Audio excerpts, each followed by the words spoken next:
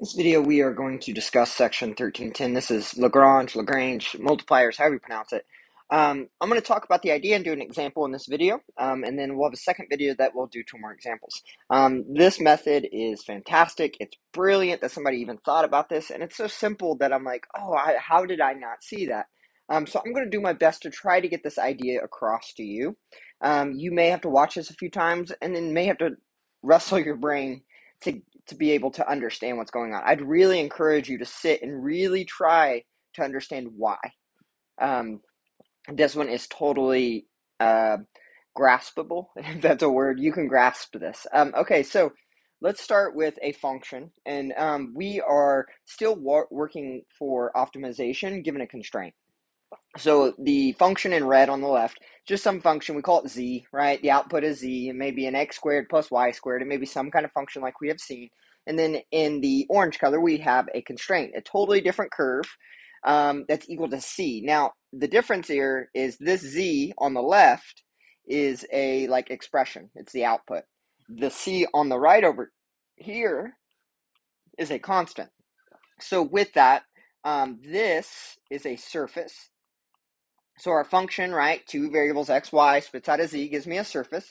And then the constraint, and, and this may be a little more difficult to see, but if we take like x squared plus y squared, and that's my function, and I set it equal to a 6 or something, I get a level curve. This is that like slice that we can take out of our surface. It'll create a two-dimensional curve or a level curve. Um, so a level curve to um, a surface, and that surface is the g there to a surface g of x, y, z.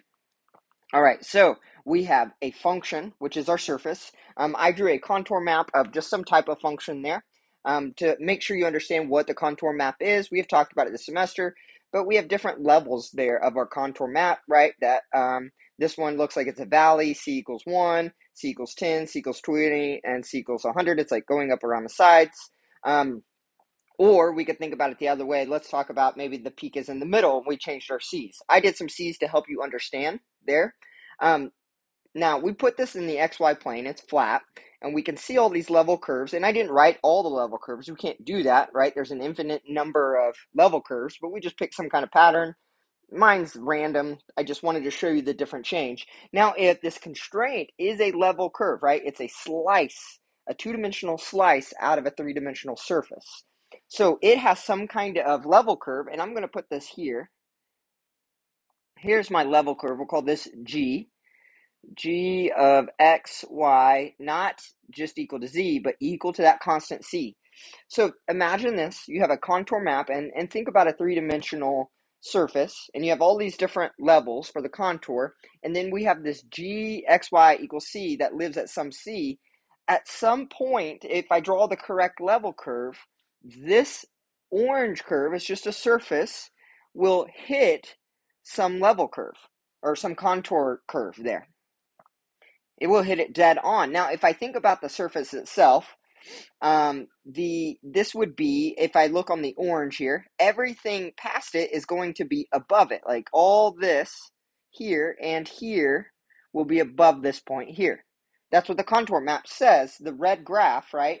So if we're looking at the constraint there, it is actually everything below that on the red curve will be below that constraint, or uh, above it rather, because the contours are going up as I go this way uh, to the right as I go out.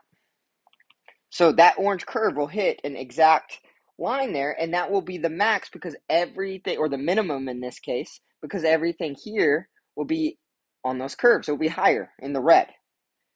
It's higher than the orange curve. So the lowest point there will be where we meet here. Now, this intersection, since that's the case, this intersection, let's write this in. The intersection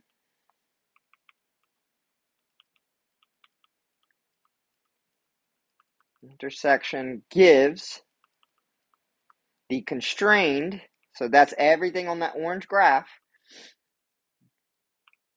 The intersection between the orange graph and the red graph will give me a constrained max or min. Sorry for my handwriting there. A constrained max or min. Now, cool, great. How do I find that point then? I know it exists, right? Well, if I have a point there, um, and hopefully you can see this, but they should have the same type of tangent line. Why I say type of is that the tangent line should be some constant multiple. They will have parallel tangent lines because that's a they meet at a point, so they share the tangent line. They only share one point, so the tangent line at that point will be shared between the two. Now it will be a multiple, meaning they're parallel, but they may not be the same size.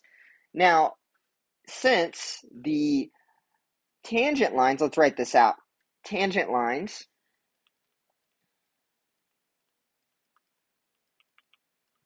Tangent lines are constant multiples of each other here in this case. Well, if that's the case, and we learned this earlier, if the tangent lines are constant multiples or parallel, that's what that definition means, then we have that the normals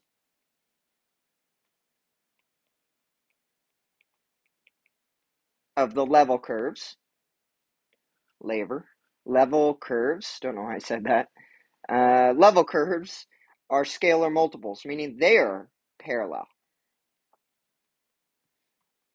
Now, what does that give us? Well, let's write out an equation here. So the normal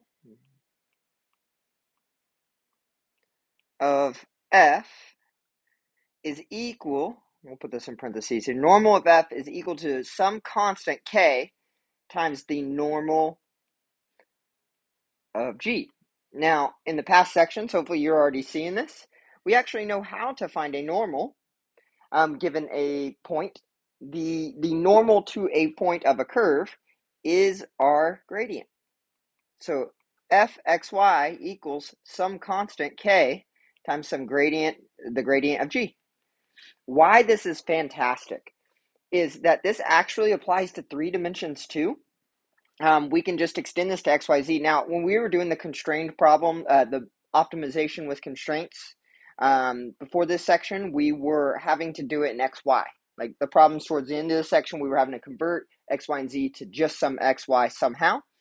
Um, in this case, it's going to apply directly this instead of doing the gradient of xy, we do the gradient of x, y, and z. So let me write out. Um, they actually have a name for this uh, k. They like to call it okay f of xy equals, and they use lambda, lambda times the gradient of g of xy.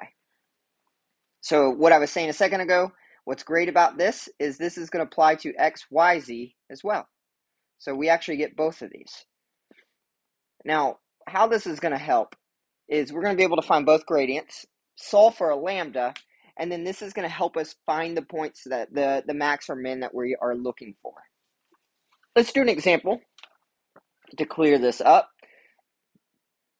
All right, so it says find the extreme of that with a constraint, and they gave me that this is a level curve of that function that I underlined at 6. So I'm going to write both functions here. f x y is equal uh, is equal to xy, and then my g function here is going to be equal to 2x plus 3y. That is that function. I know that if I take the gradient of f, it's going to be equal to some lambda, some number times the gradient of g.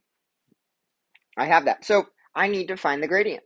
So gradient of xy right? Remember the gradient is fx comma fy, and it is a vector, because remember it gives me the direction of the quickest way out, or the steepest incline. So I need fx, okay, well, the partial derivative of f with respect to x is y. The partial of f with respect to y is x. So I have that. Then I take my gradient of g, and take my partials there. I get 2, 3. So now I can set this equation up. yx is equal to some lambda times 2, 3. Well, I know component y's have to be equal. So I'm going to do y equals lam, uh, 2 lambda. Call 2, put the 2 out front. 2 lambda. And then x equals 3 lambda. Well, at this point, you do anything that you have to do to solve for lambda. Well, I have an equation they gave me. They gave me that 2x plus 3y equals 6. This will be the simplest uh, way to solve for lambda. So I'm just going to plug everything in. I got 2 times 3 lambda plus 3 times 2 lambda, and that equals 6. All right, that is 6 lambda plus 6 lambda equals 6, which means we get 12 lambda equals 6, and then that means uh, that is equal to 1 half. So what's great now is I can actually find my points where this minimum or maximum may occur. So to get my point, I know x is equal to 3 times lambda, which is 1 half. So 3 halves is x. y is equal to 2 times lambda, which is 1 half. And 2 times lambda is 1. So we have a critical point at 3, 2, 1. Now, to find if this is a max or min, we would have to run this through our second partials test. Um, if you have two points, and we'll have one in the next examples, uh, I'll have an example of this in the next two examples, but um, if you have two points, it's easy. The small point is the minimum, the big point is the maximum. I do need to figure out what that actual value is, so I can plug that in 3, 2, 3 over 2, 1. If I plug that into my function, I get 3 over 2. So it's a max or a min. We don't know. We'd have to check of 3, 2. I'm not going to use the video to do this because we did this in the last section, um, and we don't want to watch video we don't have to.